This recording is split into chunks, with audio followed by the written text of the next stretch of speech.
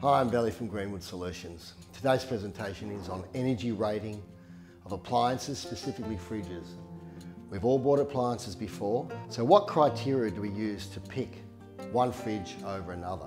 After watching this video, you'll understand and have the correct tools to make the right decision. We'll look at the time value of money, we'll look at the difference in savings between some of the more expensive fridges and the cheaper ones, and a whole host of other factors. If you like what you see, hit that subscription button. Let's get stuck into it. The Equipment Energy Efficiency Program is a cross-jurisdictional program through which the Australian Government, states and territories and the New Zealand Government collaborate to, to deliver a single integrated program on energy efficiency standards and energy labelling for equipment and appliances. The objectives are to reduce energy bills for households and businesses in a cost-effective way by driving improvements to the energy efficiency of new appliances and equipment sold and to improve the energy efficiency of new appliances and equipment that use energy to also improve the energy performance of products that have an impact on energy consumption and to reduce appliance and equipment related greenhouse gas emissions through a process which complements other actions by jurisdictions. So with this energy rating program, various manufacturers have to submit their appliances and they have to be tested. And after the testing, they are assigned a star value and also um, a kilowatt hour usage per year. The star rating is about energy efficiency. That is how efficient a model is relative to other models of the same size. The more stars means more efficient when compared to other models of the same size or approximate size.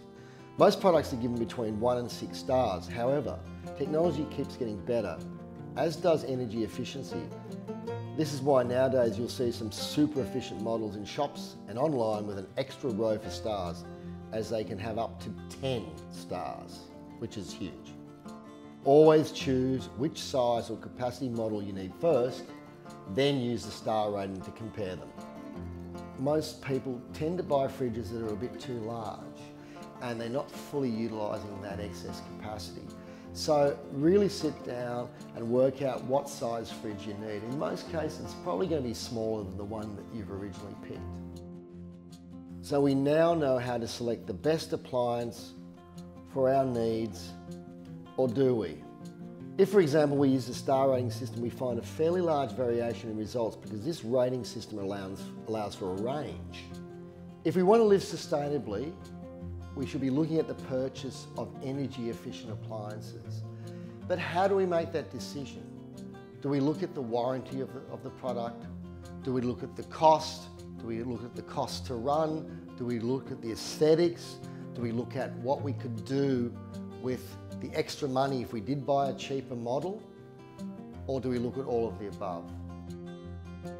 Now here we have a table and under brand we have various brands and have various names and then you can see in the fourth column there is capacity and the star rating in the next column and then the usage in kilowatt hours per year. So you can see it ranges from 202 to 602 kilowatt hours a year. Next to that, there's the purchase price. And in the next column, what I've done is I've calculated per litre capacity. So if you look at the capacity of the fridges in column three and what they use per year, there's a simple calculation that I've determined the amount of kilowatt hours used per year per litre. In the next column is the all important one. How much does the appliance cost to run? And I've assumed 28 cents per kilowatt hour. And you can see the range from $56.66 per year up to $168.56. Now, if you go back to column three, the range of sizes of uh, capacity wise are pretty close. So if you look at number one, 519 litres, compared to the one right at the bottom, 512. So the six star rating and the two star rating. I've calculated the cost to run per year per litre at 28 cents per kilowatt hour. And you can see the range from 11 cents all the way up to 33. And in the last column, I've calculated the purchase cost per litre capacity. And you can see in the six star example, the purchase cost per litre capacity is $3.27 as opposed to the one right down the bottom, it's $1.95 per litre. So there's a lot of information there, so spend the time looking at that table.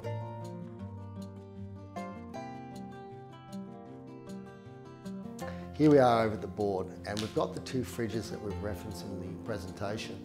So we have the cheaper fridge over here, uh, $998 purchase price, and we have the more expensive fridge, $1,699. And the difference is considerable, $701. Now, the size of the fridge is, this one here is 512 litres and this is 519. So for all intensive purposes, they're the same size fridge. And I urge you, when you're making a selection for your appliances, don't buy it too large. Work out the right size fridge before you start looking. Now, in year one, this fridge at um, 28 cents per kilowatt hour has used $168.56 worth of electricity. And this is directly from its kilowatt hour rating per year. Whereas year one, this fridge, it's more expensive, but more efficient. Year one, it's used $56.66. This is a two-star fridge, and this is a six-star fridge. So you can see straight away there's a considerable difference. Now, if we calculate um, that electricity will actually increase per year at 2%, the differences um, become really apparent. So after six years, this $701 difference disappears. But the story must go on. This is not the, the be all or end all. You'd have to look at the time value of money. So if I said to myself, you know something, I'll invest that $701 difference um, in a bank, do I still, should I still buy um, this cheaper fridge? What if we decide to buy the cheaper model and do something else with the money? So what we are talking about is the time value of money. In this table on the left-hand side, we've got the difference in the purchase price between the most efficient and the least efficient fridge. And it's a difference of $701. Now the time taken to recoup that difference is six years. So the actual savings over six years, if the more efficient fridge had been, would, had been purchased, is in the order of $705. The difference in purchase price if the cheaper fridge, the Hisense French door fridge was purchased and invested for six years at 2% interest compounded monthly is $790. So based on that calculation, it says buy the cheaper fridge. Now, if you look over at the table on the right, it, it's a comp compound interest calculator that says the amount of investment 701, the interest rate, the interest rate per period, we've compounded it uh, monthly, so there's 72 periods, and the investment value at the end of the term. The time taken to recoup difference based on more efficient fridge is six years, but if we invest money at the 2% interest compounded monthly at the end of six years, we are $84.39 better off. So, if we were just looking purely at money, you would buy the cheaper fridge. And this was very surprising to me. But what about after 10 years? After 10 years, the calculation tells us to buy the more efficient fridge. What these calculations don't take into account is warranty life, replacement value, aesthetics, and also what about higher interest rates? Warranty the factor of warranty and replacement value go beyond um, the scope of this presentation, but they do warrant investigation. So this table has a, quite a bit of information on it, but effectively on the left-hand column, you have differing interest rates. The second column shows the difference in purchase price between the more expensive and the cheaper fridge, and that's going to be the same. And the time taken in years to recoup the difference is the same as well. And the savings over 10 years, if more efficient fridge has been purchased, will be the same based on that same increase in electricity costs. The difference though is if I invest this money at different interest rates, all compounded monthly. So for example, at 2%, it still tells me to buy a more efficient fridge. All the way up to 5.5%. If the interest rate goes to 6%, then it tells me to buy the cheaper fridge. So those cost savings over that 10 year period at 6% are outweighed by the fact that I can invest the difference in the purchase price between the two models for 10 years. So that's the point.